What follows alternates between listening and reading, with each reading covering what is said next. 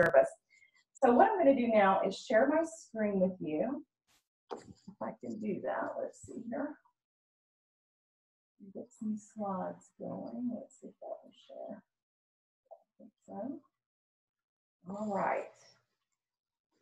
All right, so there's the websites if you didn't get those. Um, I did prepare two pages of notes and we're going to talk a little bit about those. I'm going to introduce them here in the beginning, but then we'll sort of go over it at the end of this little session. But that's the picture of my little book. You can buy it at amazon.com. It's from a series of books by a, a variety of different authors, and they're all booklets. They're just meant to be introduct introductory type of booklets that you can give away or use if you're a beginner. And that's what my little book is about. It is definitely for beginners on the new moon. And the second half actually takes you through each of those Hebrew months. And we're going to go through one month. We're going to do a sample, and that is for this upcoming month that starts this next uh, weekend, Heshvan, the eighth biblical month.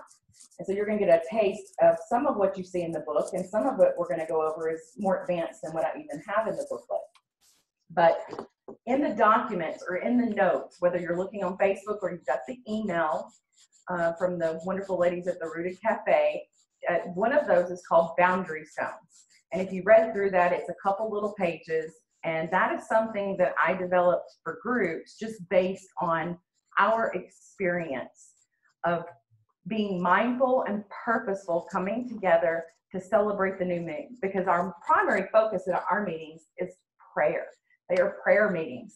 Uh, we do fellowship, we eat, uh, sometimes we dance, we worship, we do lots of different things. Sometimes we'll do a, a small teaching, but the primary focus is prayer because this is an appointed time. The beginning of the months are. And so um, on the back of the boundary stones or on the second page, there is an acronym just for new moon. And we often will read that at the beginning of our meetings, particularly if we have new people that are joining us.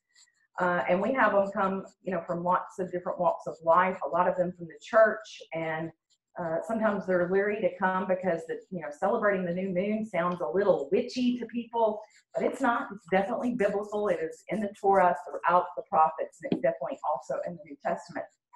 Uh, so we we have the that acronym put there so that everyone has an idea of the expectations of the meeting. Because at these meetings this is not the place to debate doctrine. It's not the place to push an agenda. It's not to bring your business to sell and to promote.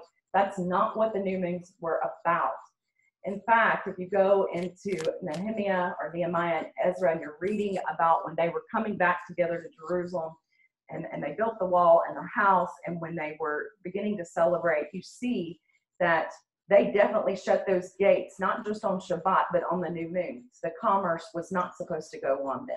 So, what we do is we worship and, and bless the creator of the universe, and we minister to one another and we pray. And that should be the focus. And those gates, those windows of heaven are definitely open just like they are on Shabbat and on the other Moedim. So of course we do try to sight the new moon, we blow shofars, and, and we do have a very good time doing that. It's not just some solemn, completely solemn thing. Uh, we, we enjoy ourselves with the Lord when we do that. Now the second thing that I gave you was uh, a month sheet. Going to have the primary points of Heshvan, and some of them may seem mystical to you or you're like, I don't know about this, but we're going to go over it. I'm going to tell you where they come from. And on the back of that one, there's a general blessing for the month that you can use any month.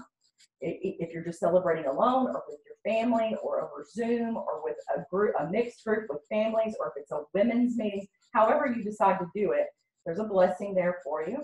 And there's also what I call the cheat sheet of the months. And that chart just has the traditional, the Jewish traditional traits that they associate with the months. And that may, um, there may be a lot of points on there that you don't quite understand, but we're going to go through some of that, especially when we do um, the sample for the month, Heshvan, that's coming up.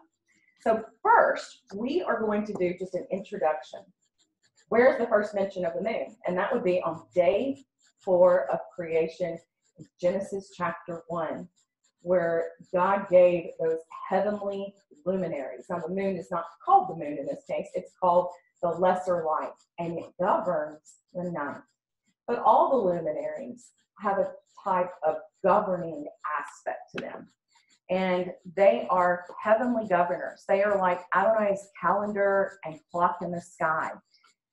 The problem is, as humans, and we see this throughout history, is that a lot of people, rather than recognizing them for what they are, that they're governors over the calendar, they're not governors over your life, uh, they end up worshiping these luminaries, whether it's the sun, moon, and stars, or all three. And that's not what we're doing when we're celebrating the new moon, of course. We are recognizing the creator of these luminaries and their purpose, and how wonderful it is that the heavens truly do declare the glory of Adonai. And they have a voice that speaks day into day. We're going to look at that scripture here in just a minute. But based on that passage, passage in Genesis that we just looked at, on day four of creation, um, Adonai gives the purpose for these lights. And notice there's verbs here, as Brenda was saying in her session. You know, Hebrew is a very action oriented language. And so, what these luminaries do is they separate the day from the night. Now, as I read through these, I want you to think definitely in the literal we know that they separate the day and the night, but also think about these terms in a figurative or spiritual aspect because it's just as true. They separate day and night. They are for signs, seasons, days, and years. They give light to the earth. True heavenly luminaries don't take, they give. And they govern the day and the night, and they separate the light from the darkness. So there is an aspect to the luminaries, including the moon, that brings a separation of light from the darkness. And we know that the stars and the moon actually are lights in the darkness. But there's a mirror effect, a parable effect, that if we're following his calendar, that we are doing these same sorts of things. So, in their role as that heavenly clock or calendar in the sky, what they're really doing is governing our time.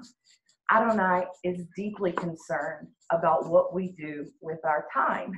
And if you are following his calendar, if you're doing the weekly Shabbats and you're doing the, the yearly festivals, and you decide also now to do the new moons, let me tell you, your calendar is full. There's lots of schedules on there for us to, uh, appointments for us to meet him. And by doing so, you don't have a lot of time to get in trouble because there's lots of preparation involved with all of these. And this is a good thing. It busies us with the things of the kingdom rather than just the things of the world. And I know we have things in the world we have to deal with, but our primary focus should be these light posts every week, every month, and in the yearly cycle, and even beyond. You know, that cycle gets much larger with the Shemitah cycles, the seven year cycles, and in the larger 50 year cycles, the Jubilees or the Yovel cycle. And so uh, Barry Miller, one of um, my good friends, him and his wife, that, that, he wrote a book called Know the Time, Change Your World. And he calls these cycles like the, the rhythms, the rhymes and rhythms of Adonai. And I love that term because we do want to get in his rhyme and in his rhythm. And it might be a little overwhelming at first, but all you have to do is just take that little baby step we're not looking for absolute perfection in any of these festivals. Every single year and every single week and month with, on his cycles, I learn more. I learn more, and things get easier as you start walking, just like with that child just learning to walk. We fall down, but then we continue to get back up, and the more we do that, the stronger, the stronger they, those spiritual spiritual muscles become. So Adonai actually governs through his calendar and clock, you know, when we celebrate, when we eat, when we work, when we gather together. And so they mark our important anniversaries that he wants us to recall and remember, remember, but they also point to future prophetic things. And just by walking it out and trying, he gives us just new insight all the time. So I encourage you to just keep pushing forward. So there's an authority aspect in these luminaries of the fourth day of creation. And one of the primary things that they do is keep track of the Moedim festivals, particularly the moon. And so it enables us to go to those rehearsals and anniversaries and appointments and learn more and more and more about what the, the will of the creator. So that moon's light is lesser than the sun's light, but it's also a beacon for those in darkness. And we all at one time were in darkness. Maybe we're just in darkness in one area. And the moon is actually a parable showing us that Adonai always does provide light in the darkness. And it might seem to wax and wane, but there's a lesson in that for us too, because we do that. Even in our faith, sometimes we're waxing and waning.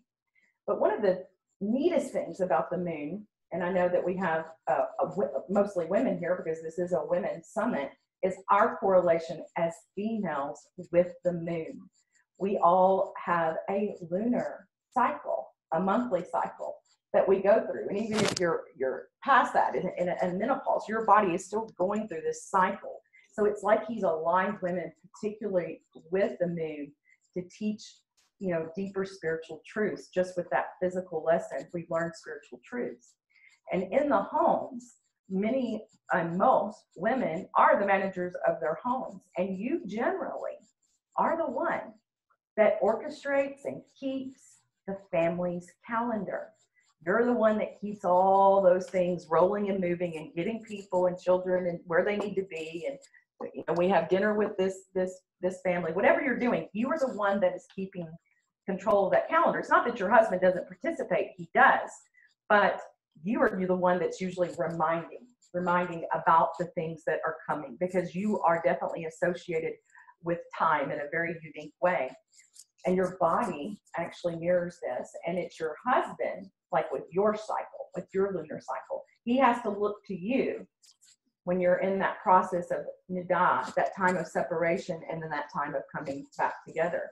So we need one another in, in this aspect that you, as a woman, you're the primary one when it comes to this calendar and the moon. And for that reason, in Judaism, the new moon festivals and, and, celebrations to this day are usually appointed mostly to women. It's not that the men don't recognize it, they do, but it's often women that get together as groups. Some of them even keep it as a, a sort of a, a, Shabbat where they don't do their normal activities because it is devoted solely to that communion with the with the uh, the Heavenly Father. So, um, like the moon, women are often viewed as a lesser light compared to men, and we know that that's not true. Both the sun and moon are vitally important I think we misunderstand this in many cases, and it has been true throughout the centuries. But I think Adonai is really bringing these together as, as one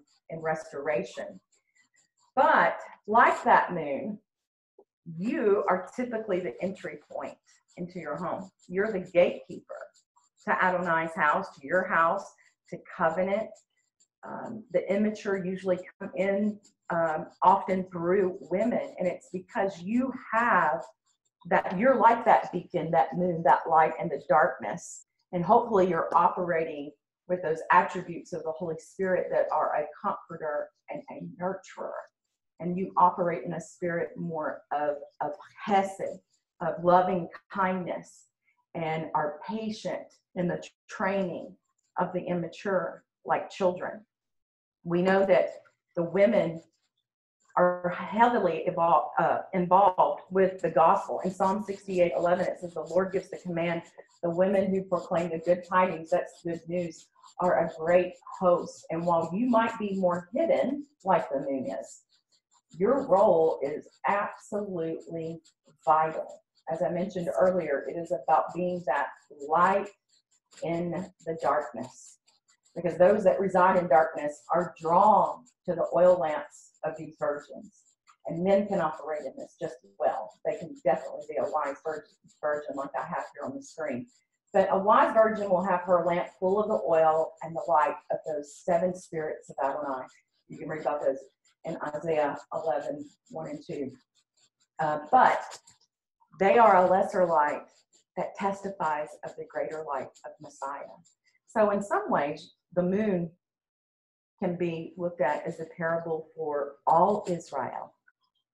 Doesn't matter if you're Jew or Gentile, all Israel, that whole house, that, that's like a testimony of his greater light. And we're constantly pointing people to the light so that they also become beacons and reflect the light just like the moon does.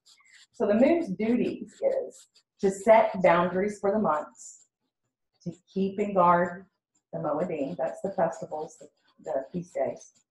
It warns of things to come. Remember, there's those signs that are in the heavenly, and it reflects the light of the sun. So this is our goal as well on a spiritual level. We do all those things as well. So now I'm going to give you just a brief history. I'm not going to go into great detail. There's actually not a lot of scripture about the new moon. So you could in one sitting actually just pull it up and look at look at everything involved with the moon. And even though there's not a lot of information, what's fascinating about the new moon is in many places it is juxtaposed with the Shabbat. So there is great significance in it, even though there's hiddenness involved.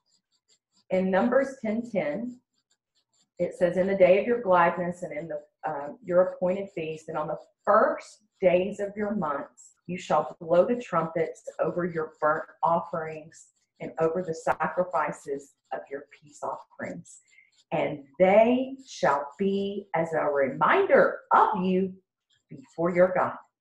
I am Adonai your God. So when we come together, and we might not have physical burnt offerings, obviously, without a temple, but we can offer the bulls of our lips in prayer. And that is what we do here in our local new moon groups is we do that and we blow those shofars and we fully believe and trust that this scripture is still true today, that these things are a reminder of us before our God. And we have many testimonies of answered prayers that have come from our new moon meetings. So I encourage you, even if you're alone, or you're doing Zoom, or you're doing family gatherings, or women's gatherings, whatever you're doing, that you are just as intentional about these new moons as you are about the Shabbat and the feast days. So the primary word for new moon is Chodesh, you can see that's just strong sound there. You can see it's a het dalid sheen. But our Western calendar is solar based, and this gets so confusing um, because our calendar is so different than the Hebrew calendar. Kisha, can I ask a question really quick? On our sure. microphones, we're hearing a maybe there's a bouncing or something around your microphone. Ah, okay you know what? Maybe I need to take my necklace off. That might oh, be it. Now we hear you perfect. Oh yeah, that's probably what it was. It sounded like cutting paper, and we were like, "Oh no, we can't hear you." So, oh, you should have told me sooner. Well, I thought it was the cat licking your microphone or something. so I thought, oh, it'll be done in a second. And then I thought, now, oh no, we have too much to hear. We got 50, we got a lot of time here. We need to get all of this. It's good. That's funny. Right, well, Carmen, I'm tangled. I'm tangled up. Let me get untangled. Carmen says, "Yeah, me too. I, it was cat. Thought it was cat licks. People were saying I thought it was um someone was cutting, but I thought you, you were the only person with a mic, so I thought it has to be yours. So it is mine. I'm sorry. Is that way better? Oh, hundred percent better. Okay, I'm muting. Okay, carry on. Okay. Yes. All right. Sorry about that. Um, I wasn't even. I shouldn't even put a necklace on. So our Western calendar, it's solar based. And we know that the sun, you know, fixes the timing of the months or the moons, which it's not really related to the, the moon. Our calendar isn't these days.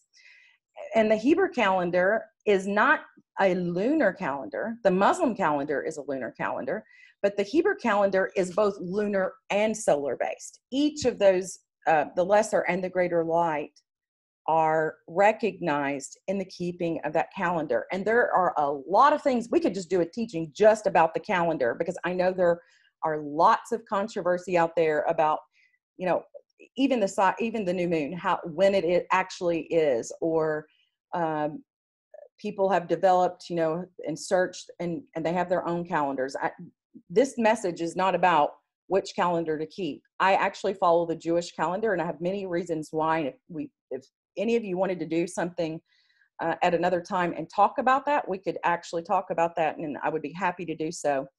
But it's lunar solar based, the Hebrew calendar is. And that is to keep the seasons in check.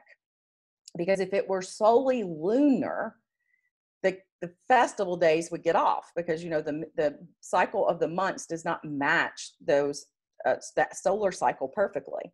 That's why there's an additional leap month on the Hebrew calendar uh, that occurs seven times in a 19 year cycle. And so sometimes if you're wondering, why is this a, a, leap year? And we have this another Adar in the month. We can, we can look at why that goes on perhaps in a different teaching.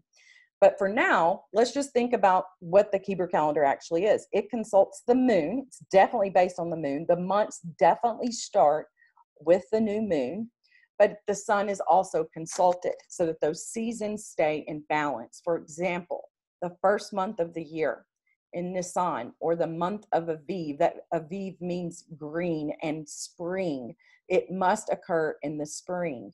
And so we know that there's a there's a balance on that calendar. The spring feast shall remain in the spring, and those fall feasts shall remain in the fall. But if we're just looking at this basic word, chodesh, it means new moon, but it also means month. And sometimes you have to look at the context of the scripture that you're reading to determine if it's actually that first of the month, that new moon, or if it's just speaking about the whole month in general. But according to uh, Judaism, and we have lots of ancient documents, including the Mishnah, that talks about when the new moon is. If you have a regular Gregorian calendar, our normal Western calendar, and you're looking and it says new moon, what that is pointing to is what you see on the, your left hand screen. It's the astronomical new moon, it is the dark moon.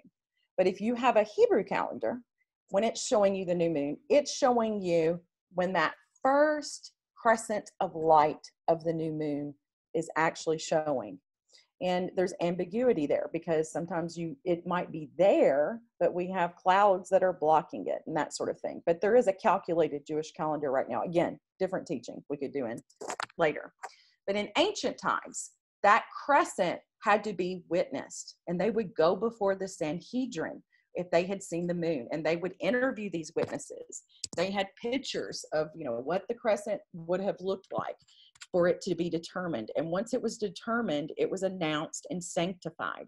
And when they did that, then they lit those pyres, fires on top of the mountain. Now that picture actually comes from the Lord of the Rings. it's the only one I can find that actually shows this. But they would start that pyre on the Mount of Olives, and then it would be seen, and then it and the next mountain would then they'd light theirs, and so everyone around um, the the kingdom would then know that the new moon or the new month had began.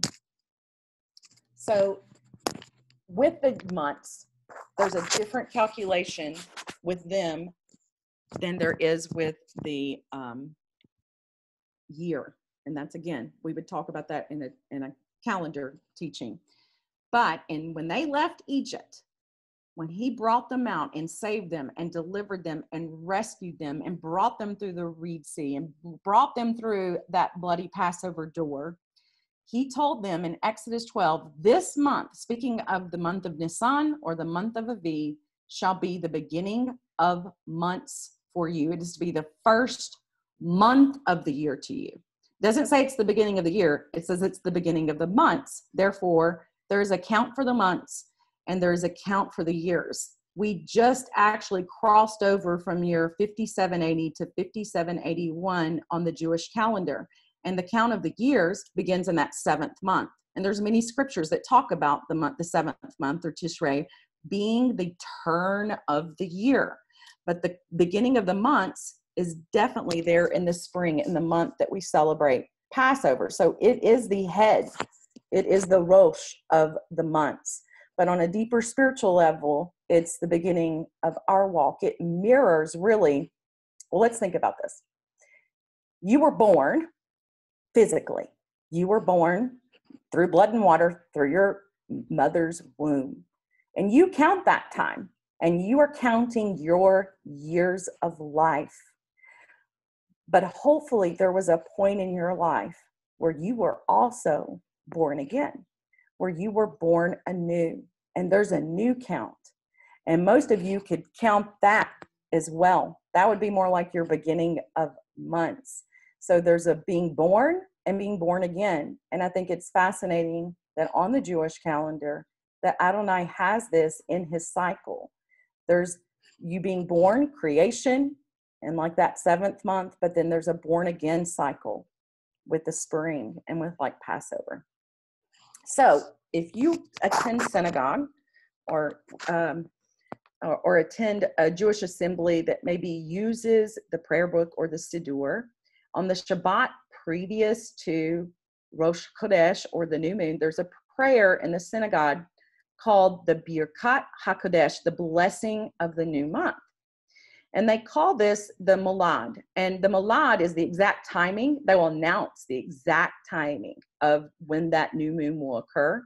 But Molad actually means to birth or to be born. And it comes from the Hebrew word yalad, that means to beget, to give birth, to be born. So you can see all this new birth language just associated with the moon. So, strictly speaking, the Molad is that conjunction. That's the dark moon. But the first sliver of light is the actual new moon or the new month because it is the indication. It's like the head crowning, like through that birth of being born. Now, there's a blessing that is actually said in that service, that prayer service, that mirrors this, this birthing aspect. And it says, Praised are you, O Lord, our God, King of the universe who created the skies with his word and all the heavens host with the breath of his mouth. He gave them appointed times and they never miss their cues, doing their creator's bidding with gladness and joy. He is the true creator who acts faithfully, and he has told the moon to renew itself. And remember, we're like that parable of the moon, and they understand that. There's a renewal that we need to go through. It is a beautiful crown for the people carried by God from birth who will likewise be renewed in the future in order to proclaim the beauty of their Creator for His glorious majesty. Praised are you, O Lord, who renews the new moons. I just love that. It's so beautiful, the language there. So, the new moon is about our future redemption. And the message of the moon is, you must be born again. And in my little booklet, I mentioned that over and over and over again, that that is really the message of this new moon uh, and why it's important for us to keep it. Because one day it shall come to pass that one from one new moon to another and one from one Sabbath to another, all flesh shall come to worship before me, says the Lord. That's Isaiah 66, 23. Another thing that's interesting in Jewish tradition is that many of the Orthodox keep that dark moon conjunction right before that first sliver is um, able to be seen. They keep it as a Yom Kippur Katan, which just means a little Yom Kippur, and they fast. It's like a little day of atonement. And so when that new moon does arrive, um, they've already had time where they have repented. They've looked back on that previous month, and as that old moon dies, they're looking at it as themselves dying. That's what the fasting represents and that them being born again or renewed at that uh, new moon. So we have lots of spiritual themes with the moon. They depict a spiritual womb and birth because remember, a womb is a dark, watery place where life grows. And that um, enables an eventual birth or rebirth if we're thinking about the moon. The moon affects the tides, the water. Again, you can see the, the womb aspect of that, the waters. It gives light in the darkness. It waxes and wanes. So even in the phases of the moon, you can see death, burial, resurrection. Uh, it also is tied directly in to the fertility cycles of women depending on where you are and what phase you're in, depends on whether you are fertile or not. And it follows a monthly cycle, just like that moon. And of course, we also know it gives signs to the earth. We see eclipses, we see blood moons, and, and things of that nature. But it also emphasizes what's concealed or hidden and then revealed. And, you know, our Adonai is constantly doing that. Things are hidden and concealed, and then he is the re- revealer. He gives us revelation. And the moon, again, is a parable of that. And it's a metaphorical picture of Israel, Adonai's wife. It's a picture of the body, it's a picture of us.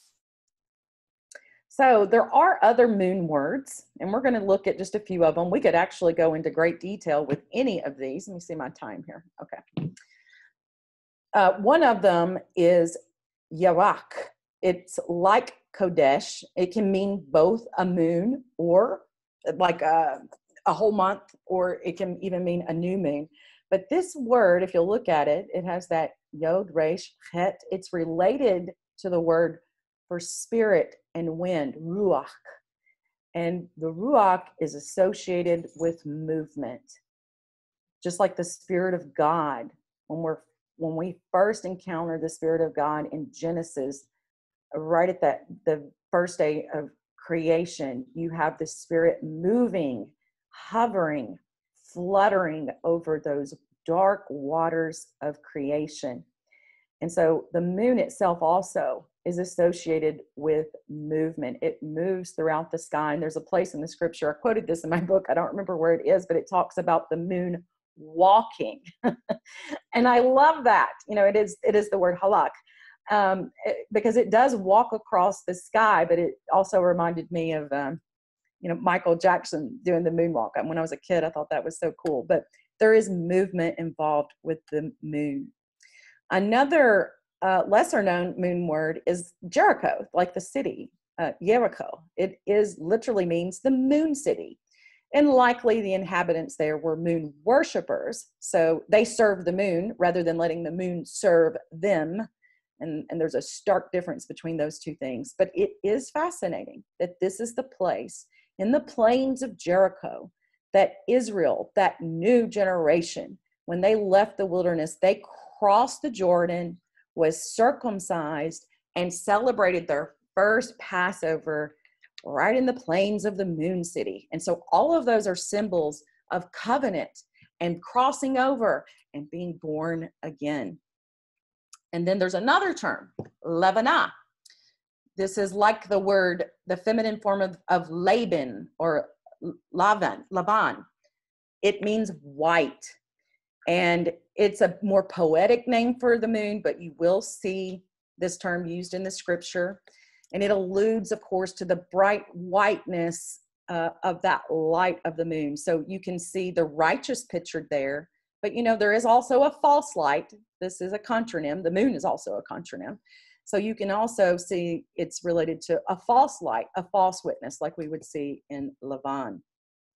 And with Israel, who built the house of Israel? The daughters of Lavan. We know that Jacob married, of course, Rachel and Leah. And out of those two, Rachel particularly stands out when it comes to the moon because she used her lunar cycle, her separation time, her nidah, to deceive her father when he searched for the idols that she stole from him. And we that could be a whole teaching in itself going into that. But more interestingly, is when Joseph had his dreams, the, especially that one of the sun, moon, and the stars, Rachel in that dream was symbol, symbolically the moon. So we see two faces of the moon. There's one that depicts idolatry, high places, and then there's a true one. On the other side, we see that it's the governor of the Moedim and that light in the darkness. And it's up to us to make sure we discern between those two things. All right, let me see our time. Good, we should be able to do this. Okay, in the second half of my book, The Biblical New Moon, uh, I have I go through each one of the Hebrew months, and you'll see something similar to this. Actually, there's more in these slides than I have in my book because I just didn't want it to be overwhelming because it was for beginners. But I, I have bullet points with traits that are associated with the month, each one. And so we're going to look at this. I know there's a lot on this slide, but we're looking at the eighth month that's about to come up. Actually, I think it's Sunday night, um, this Sunday night um, for Heshvan, the eighth month. But it's called Heshvan, or it's also called Bul, which means rain, increase, produce, quiet. And We're going to look at that uh, in a little bit more detail here in just a minute. And the rabbis have assigned tribes for the months. There's different lists, but the most common one is the one that you will see on your cheat sheet for the months in that the notes that I gave you. And you know, there are 12 or 13 tribes, depending on how you look at Joseph. If you um, break Joseph, if you remove him from that list and you put his two sons, Ephraim and Manasseh or Manasseh in there, then there are 13. Well, remember on that Hebrew calendar, there's sometimes 12 and sometimes 13 months. And they assign them throughout the year. Now, the most common chart that is used is not the birth order of the sons, it is how they encamped around the tabernacle. So remember, there was tribal heads, four tribal heads, and two with each one. So when you're looking at the months, it's going to begin with Nisan or Aviv, and it's going to be that first camp, which with the tribal head of Judah. So Judah's assigned to that first month. And then it follows his two companions and it goes around the tabernacle. And so in this way, they're seeing them in camp. Now think about the heavenlies reflecting this, you know, with the with the sun being a picture of the presence of Adonai, and they're encamped all around that tabernacle. So when they would go out and the, when the cloud moved and they followed the cloud, or if they went out to war, this is the way in which they marched. Remember that moon walking throughout the year? You can look at that as a picture of us being those tribes walking and moving throughout the year. So by the time we get to the seventh, I'm sorry, the eighth month, our tribe is Manasseh or Manasseh. And if we look into his birth, remember Joseph, he um, had his two sons while he was still in Egypt. And so you can read about that in Genesis. And his name means to cause to forget. Again, we're going to look at that a little bit deeper. But one of the things that I have in the book, and I debated on putting this in there because I know it's um, can be controversial, especially if people understand, is the mazel. That is the constellation that is in the sky. This is not astrology. It is not divination and it has nothing to do with your future or whether you should you know call your boyfriend or buy a car or ask for a promotion. That's not what these are about. They are actually those constellations that follow the same ecliptic in the sky that little imaginary line that the sun and moon follow. And they're in the sky at this season and they have a divine purpose not so that you serve them they serve us and they proclaim a message. We're going to look at the scripture for that and it is not about divination, it is about the good news, the gospel. They proclaim the good news. And in Hebrew, right now, that constellation that's coming up in the sky is the Akrab, which is the scorpion, or sometimes you'll see it as the Scorpio. We're going to look at that. Another point that I put in there is the feast, both traditional and, of course, the ones that are in the, the biblical feasts of like Leviticus 23. And Heshvan has done. And we're gonna look, we're gonna think about maybe why they don't. And there's themes associated with this month. In Judaism, it's associated with the month for Messiah. Uh, it commemorates Noah's flood. It uh, remembers the death of our our mother Ima Rachel, Rachel. It has to do with transition because we're leaving one season and moving into another. And there's an, um, a sense. Remember how the tribes are people and they represent sort of that moon following Adonai. Well, the rabbis also associate a sense, and I know we only have five human senses, and, and they add to that just normal things uh, uh, like uh, walking and primary um, things that humans do and they associate those with the month and, and one of those is smell and we're going to uh, for the eighth month and we're going to look at that. And then there's also hebrew letters associated with this. One in this month it is the letter noon and i'm not going to go into great detail uh, with that but there are 12 particular letters that they use. I have some uh, i think teaching elsewhere on that. But one of the biggest things if you don't look at anything else is look at the Torah portions that fall within the month. because as you follow those Torah portions, those portions follow you, or so it seems. and so they will give you divine insight in how to walk out the month. We think about this through the week, but then broaden that circle. Make another one, make another will within the will here, and think about how all four of them come together and speak a message, a greater message about that month. So, what we're seeing that's coming up in Heshvan is the portions Noach, Lech Lecha, Vayira, and Haye Sarah. And so there's neat things to learn about them.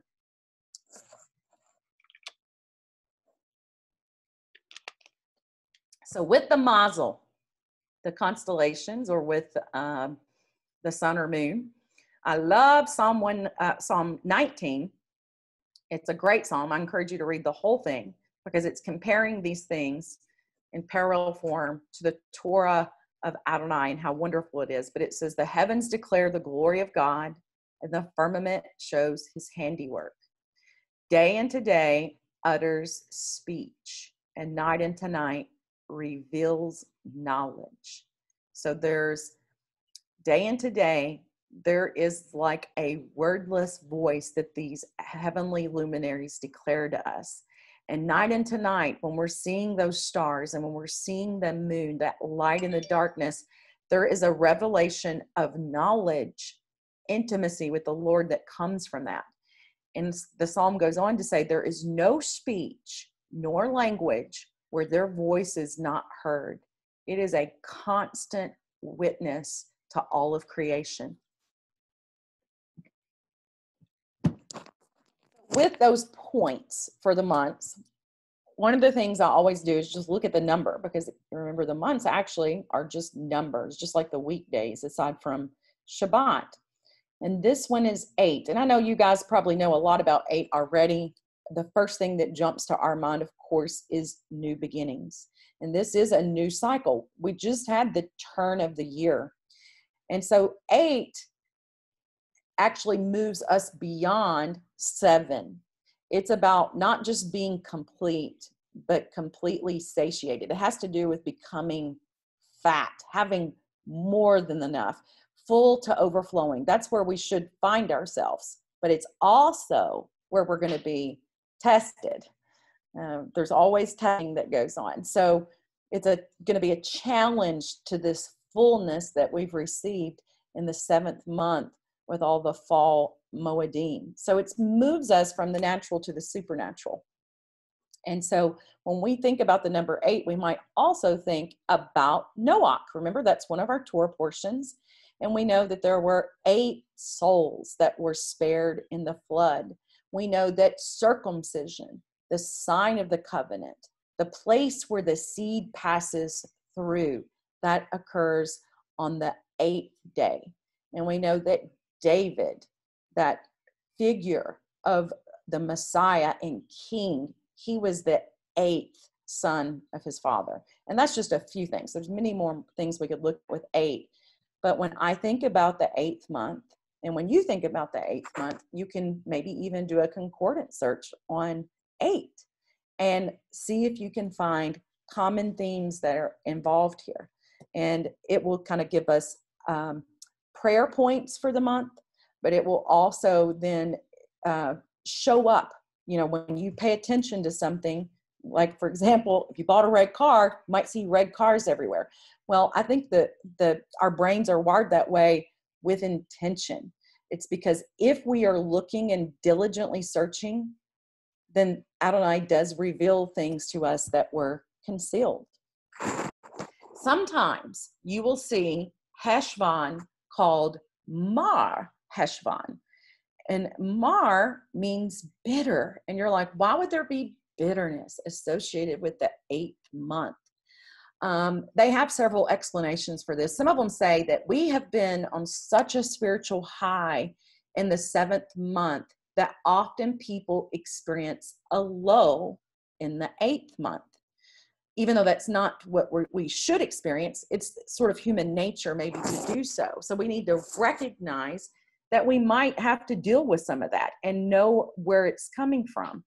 Uh, some people, you know, sense or expect judgment rather than blessings. Um, there's a bitterness maybe of not having any special uh, feast days, whether they are biblical or traditional. But we're also experiencing a transition. There is less light, daylight. And as those days begin to grow shorter, some people deal with depression. But my question is, and I ask myself these same things what does Adonai want me to see in the eighth month?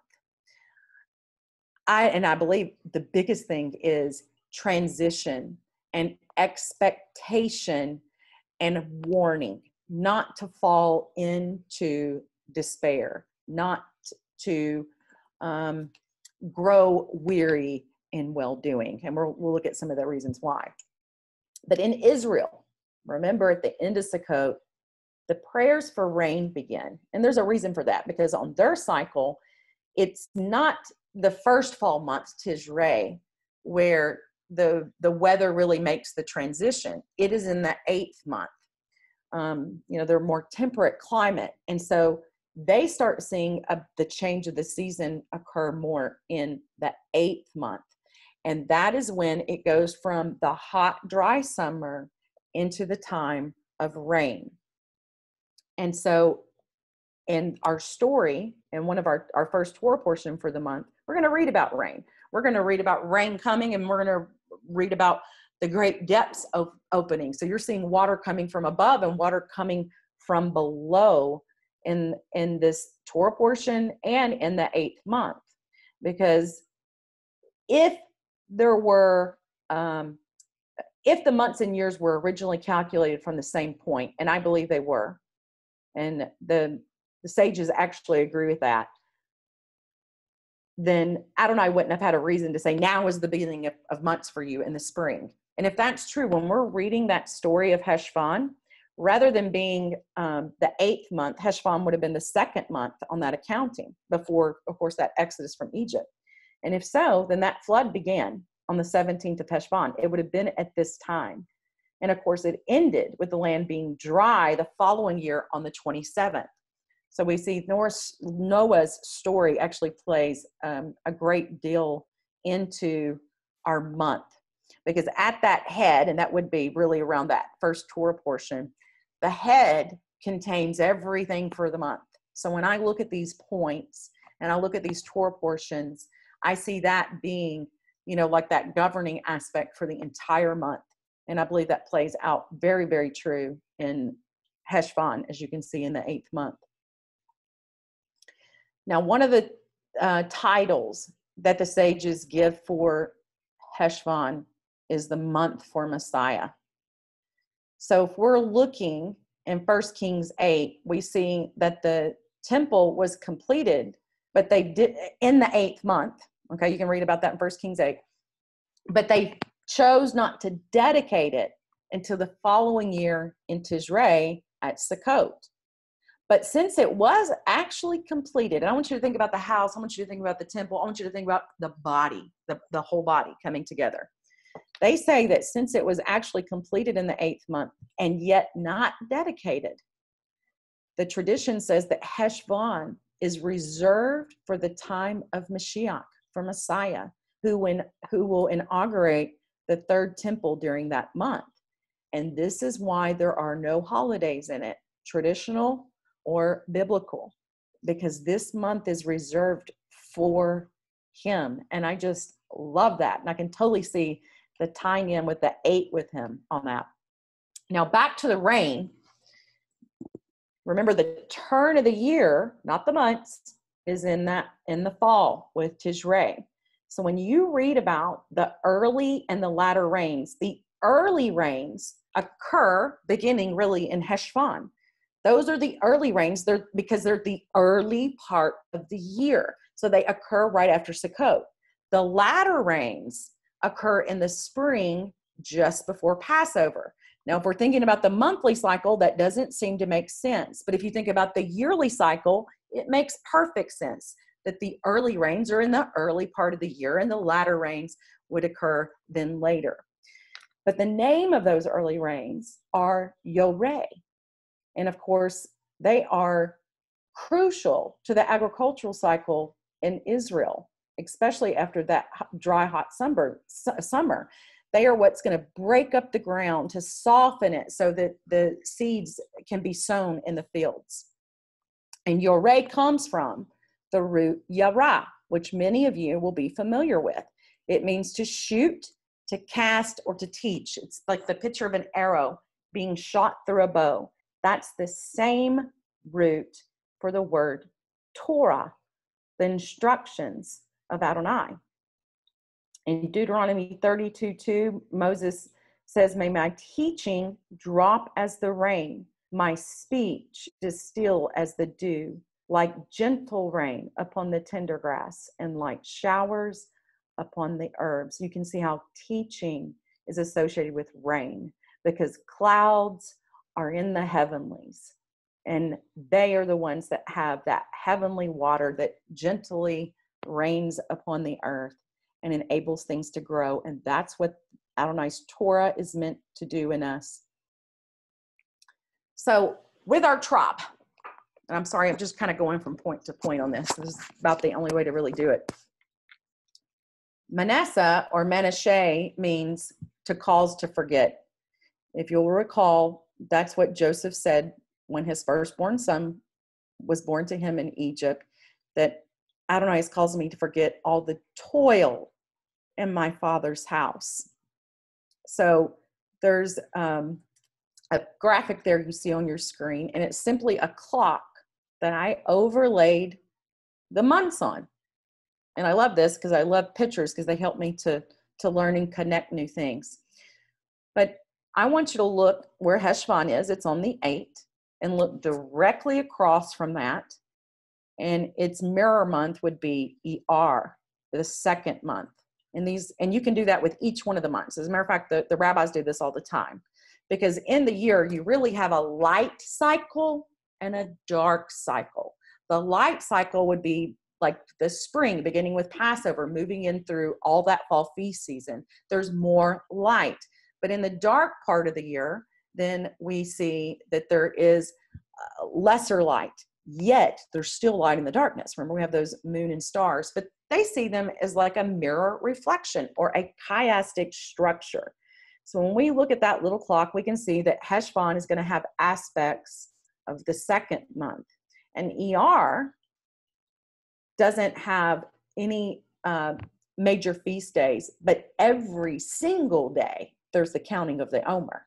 So you can see where Heshvan doesn't have any of that. On the opposite side, you have a commandment, a special one that is kept every single day.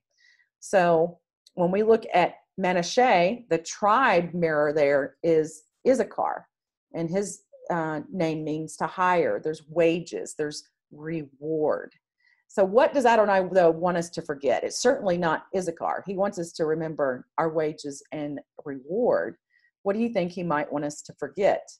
And I believe that is all the toil, because that's something that we are all doing. One day, he will wipe every tear from our eye. And to me, that links it right back to that month of Messiah and, and his coming.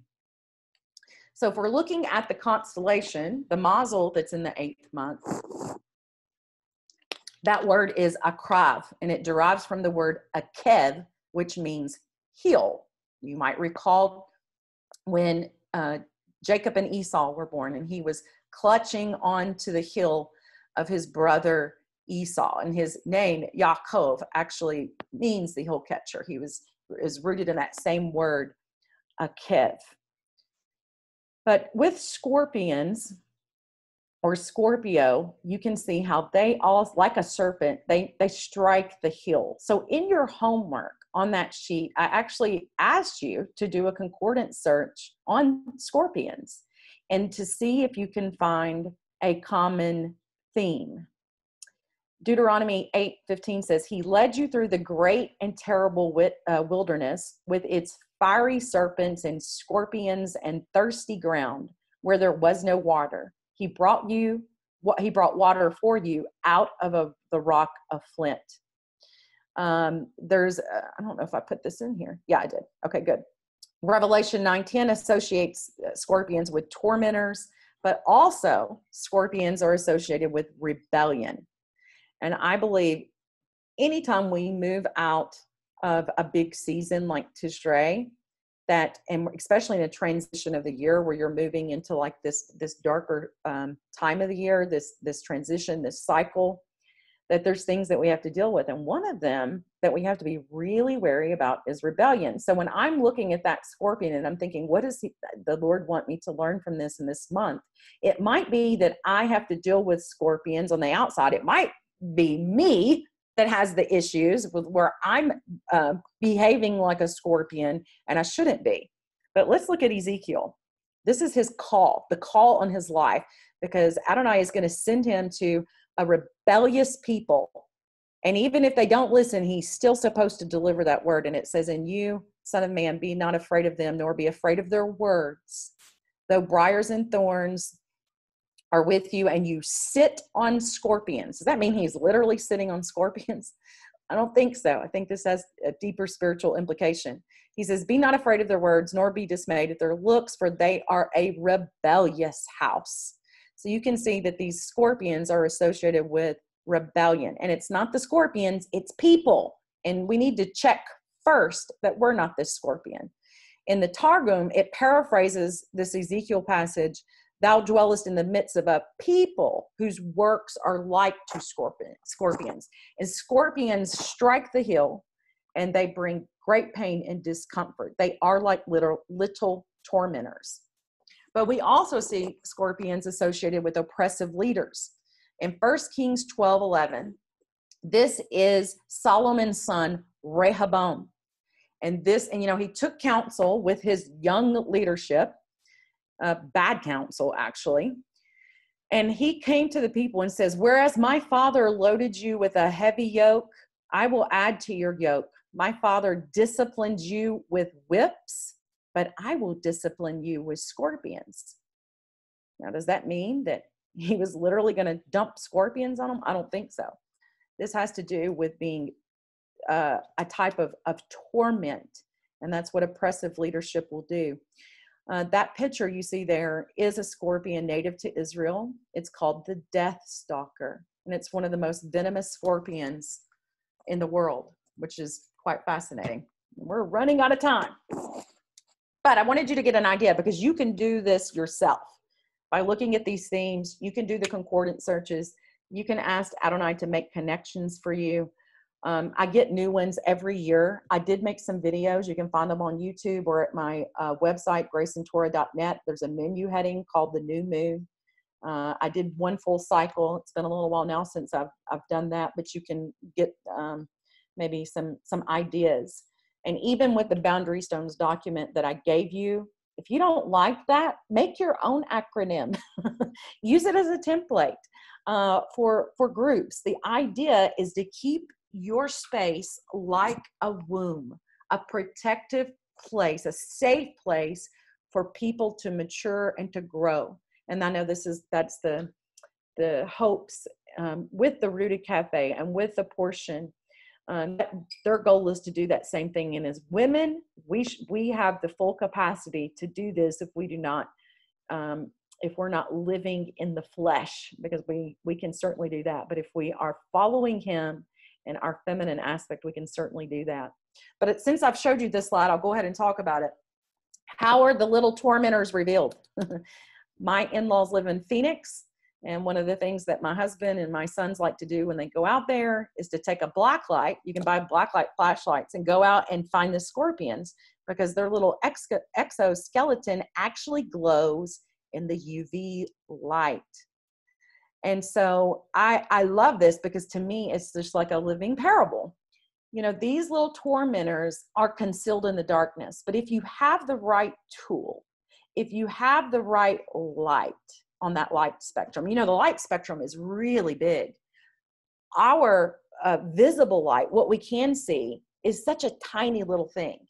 And so, and UV is one of those that we don't have. But if we have that tool, and I liken that to the Word of God, if we have that and the Holy Spirit, because both of those are a light that helps us to see these things in the darkness, then they not only become visible, but they glow. They glow so that we can avoid them or eradicate them altogether. So now I'm going to exit my share screen.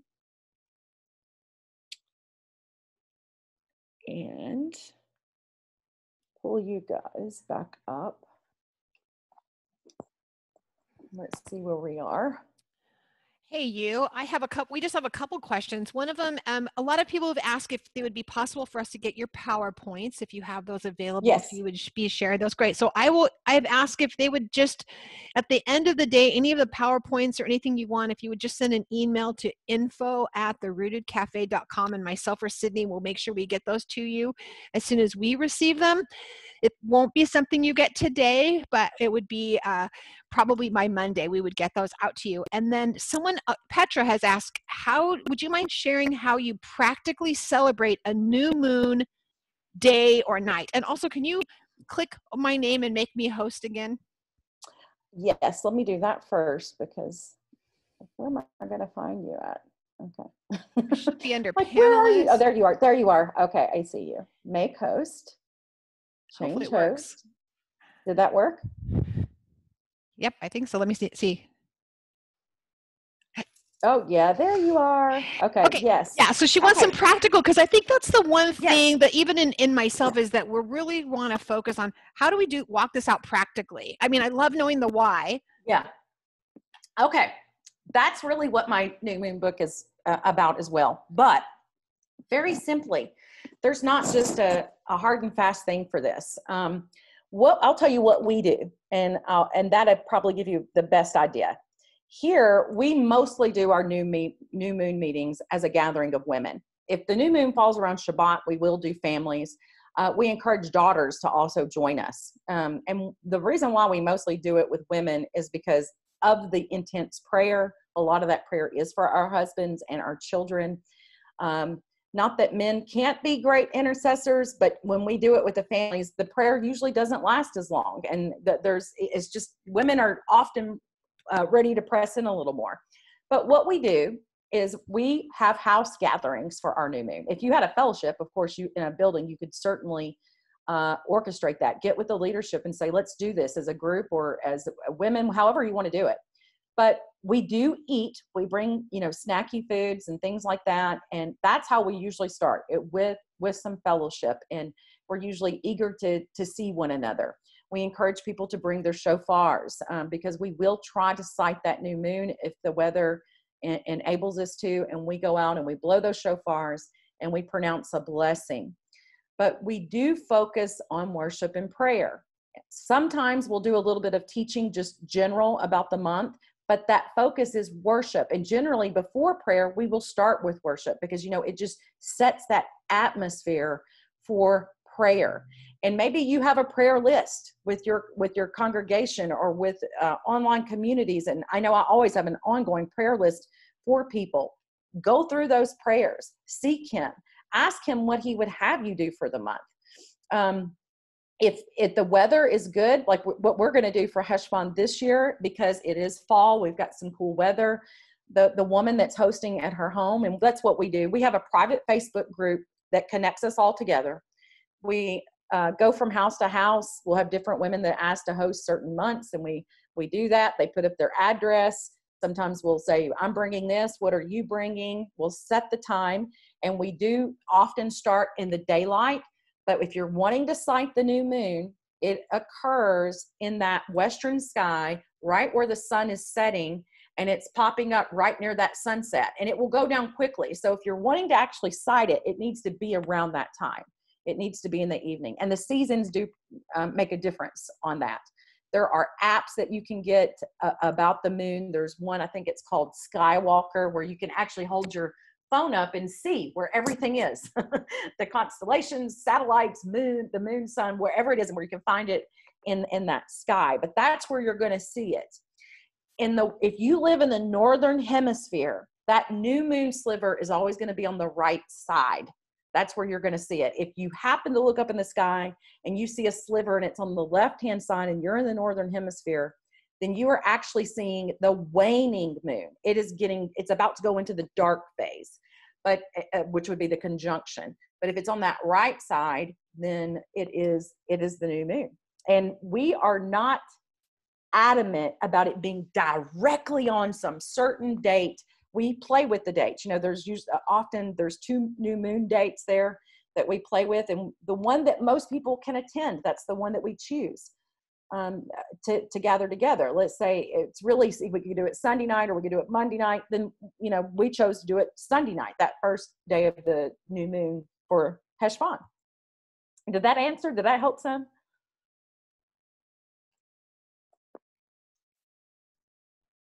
I'm not hearing you. Are you talking?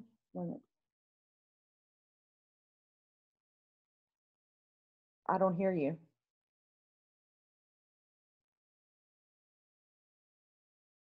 Hmm. Can you guys hear Charlie? No, she says no. We still can't hear you.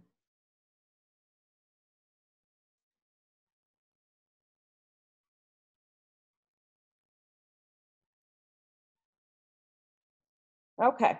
While she's figuring out that sound, let me see. if I can- Oh, yep, I can hear you. So it's a technical thing when you turn yourself off because you're when you mute yourself. I, I I have to potty, so I was probably sitting here like jiggling. So um, I have to be the crazy one because that's when I first heard the process of celebrating the new moon. I had these pictures of women in white flowy dresses with with flowers around their heads, dancing around a campfire, and it was like the Yaya Secret Sisterhood, and they were all dancing and doing the dances, and I was like, oh no. What kind of crazy are we getting into? Like, who are these ladies? You know, and I, yeah, I know. I mean, I'm the. new- I always am going to take the spot of the newbie here. Uh, 20 years into this, never celebrated a new moon, and I'm super excited to do it now.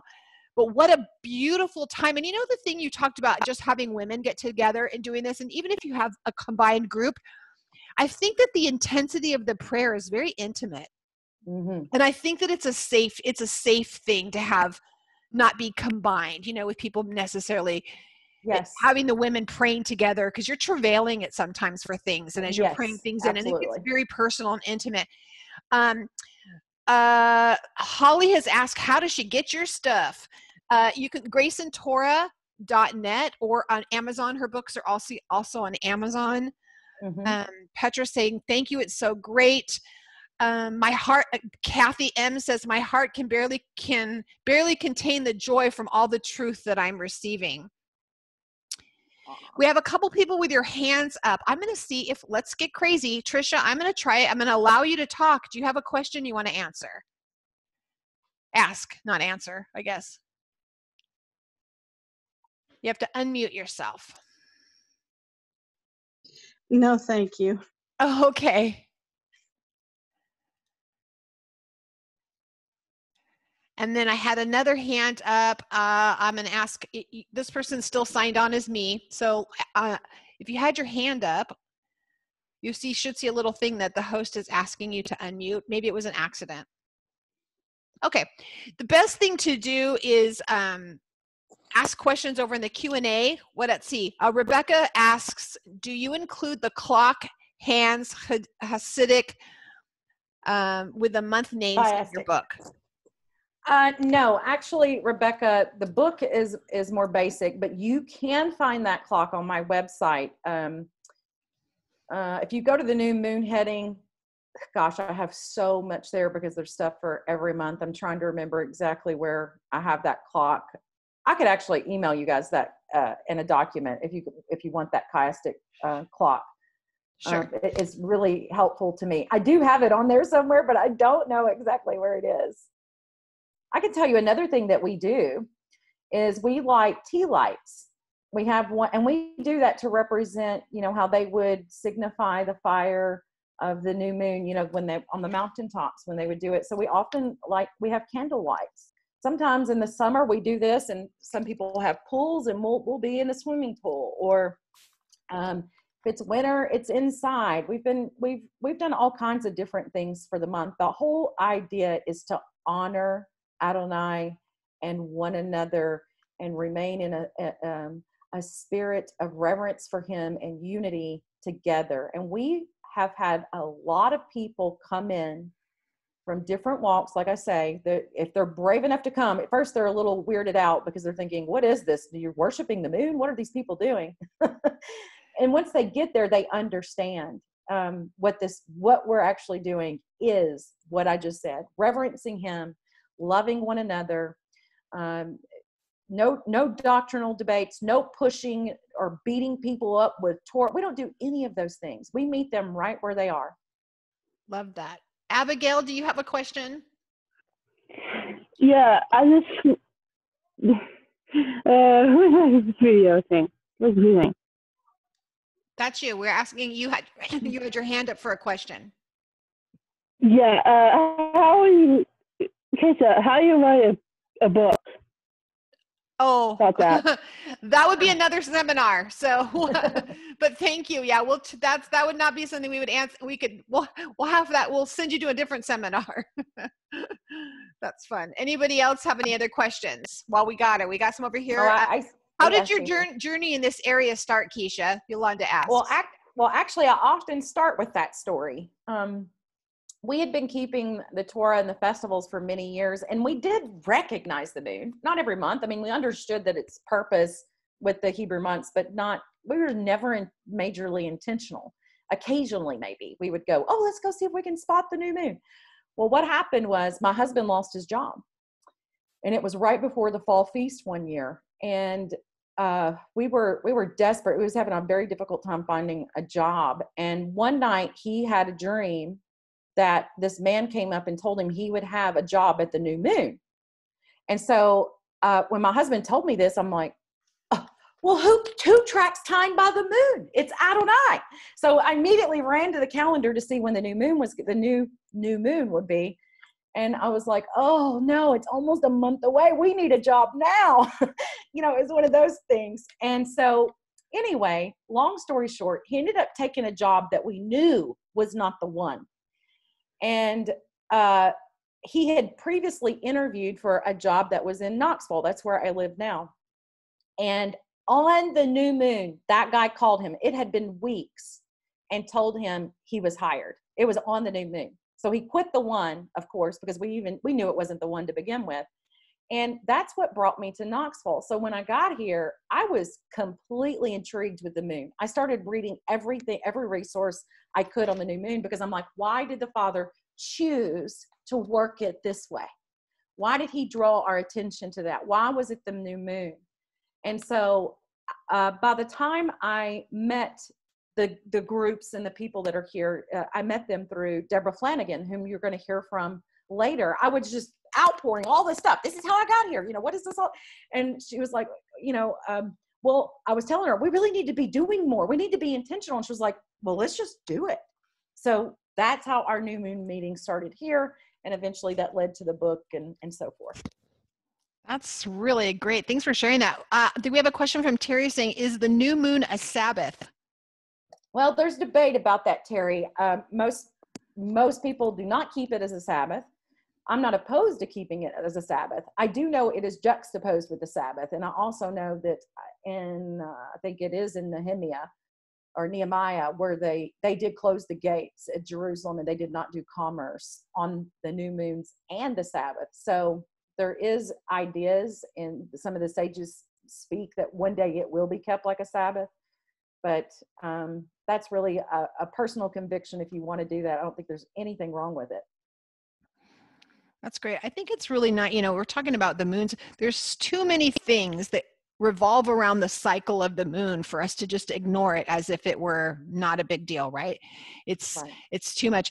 And and our friend who asked about where to how to write a book she was actually wanting to know how do you uh how do you find your book? And so her Oh. mom said she would show her so good on amazon if you just put in um, probably if you just google my name and i mean put my name in the search on i only have the one book r- right now on amazon but uh, you can put in the biblical new moon and it's got to be in those first top searches if you do that too Great.